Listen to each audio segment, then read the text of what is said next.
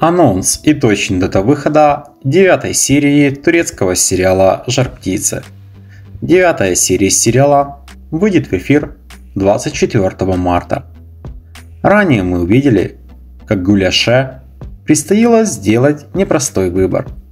С одной стороны, Барбарас загнал ее в угол, в которого она безумно влюблена.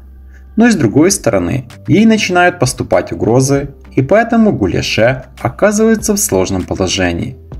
Сама же Гуляше не может ни о чем другом думать, как только о Барбарасе, и все ее мечты только о нем.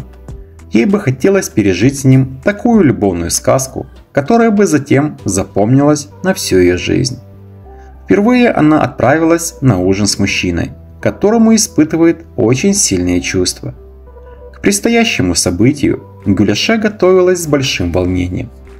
Только вот вскоре в жизни Гюляше начнется такой кошмар, от которого захочется как можно скорее проснуться – для Низама наконец-то наступил тот самый день, которого он очень долго ждал.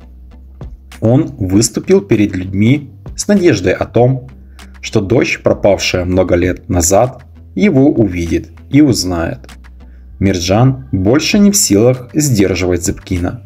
И в итоге он приходит к Низаму для того, чтобы рассказать ему всю правду – Ширин очень сильно тоскует по своему единственному сыну Барбарасе. Чатал и Вефа в этот момент оказываются перед ним словно тень.